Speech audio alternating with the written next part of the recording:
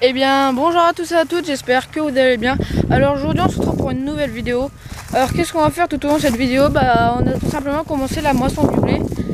Alors euh, du coup bah, pour faire la moisson, déjà on est avec notre tracteur, le TC 250, voilà le Bonnie Hollande.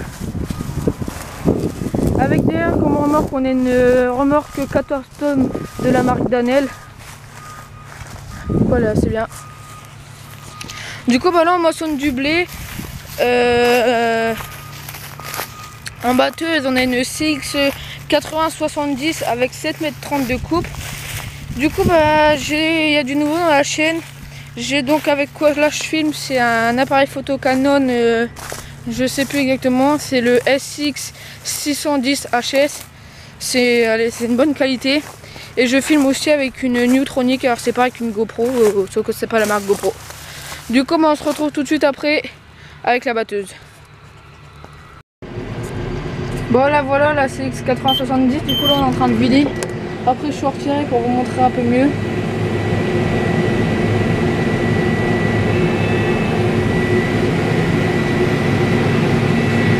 Du coup on ira à la coopérative, on ira voir tout ça. Ce matin on a fait un échantillon, on était presque à 17. Et dans ce champ là on a fait deux échantillons et un champ donc on est à 13 je crois. Et l'autre champ qui est, enfin non, l'autre échantillon qui est à 10, 16, à 16. Du coup bah voilà, du coup on fait juste les fourrières. Comme ça on a les fourrières c'est en fait. Et du coup bah après là je pense qu'il va vider, je pense pas qu'il va faire, enfin va peut-être refaire un tour, mais je pense qu'il va pas en faire plus. Du coup voilà 80-70.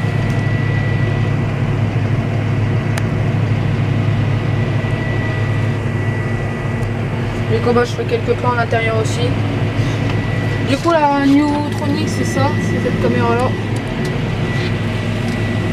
Elle est pas mal. Bon, voilà, là. Moi, ça va bientôt déborder, je sais pas si vous voyez bien.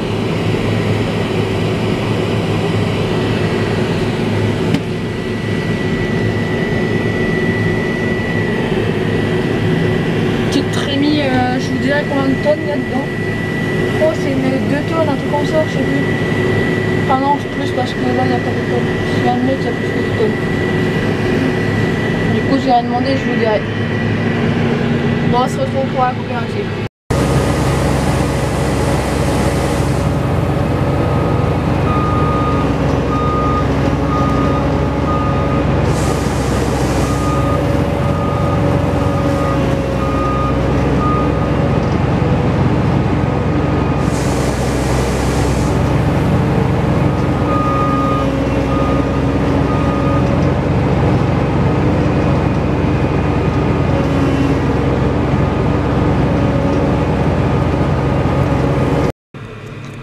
Bon voilà, du coup on se retrouve, je vais vous expliquer un peu comment ça marche un bon, du coup bah c'est chez Agora qu'on est.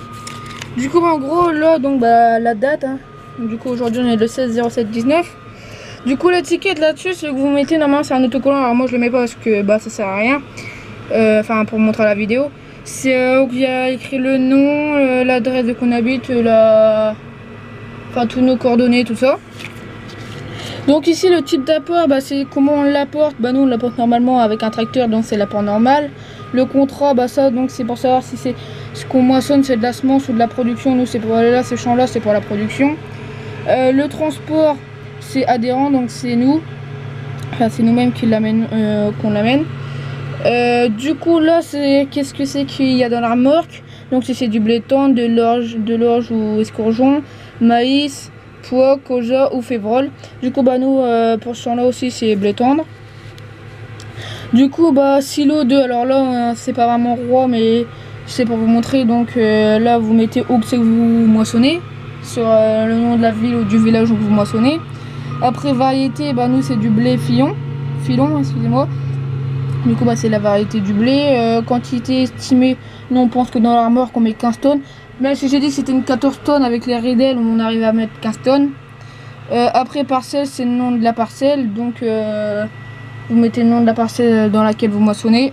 Après le précédent maïs, c'est pour savoir c'est avant d'avoir mis le blé ou la culture que vous êtes en train de moissonner, s'il y avait du maïs avant, donc euh, nous personnellement non. Et du coup bah après là insecticide c'est la date de qu'on l'a mis, les produits et le dosage qu'on a mis. Du coup bah voilà nous, ça se passe comme ça. Hein nous bon. C'est bon comme ça, bah, bon de livraison.